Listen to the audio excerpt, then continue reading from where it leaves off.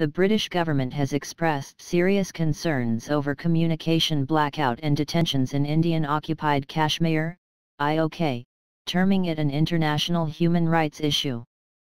According to the Hindustan Times, MPs in the House of Commons raised on Tuesday serious concerns on the situation in occupied Valley after New Delhi unilaterally revoked the special status of its only Muslim-majority region in the rushed presidential decree on August 5. UK Foreign Secretary Dominic Raab referred to recent discussions between Premier Boris Johnson and his Indian counterpart Narendra Modi, as well as between him and Foreign Minister S. Jaishankar, when he said London's concerns on IOK were conveyed.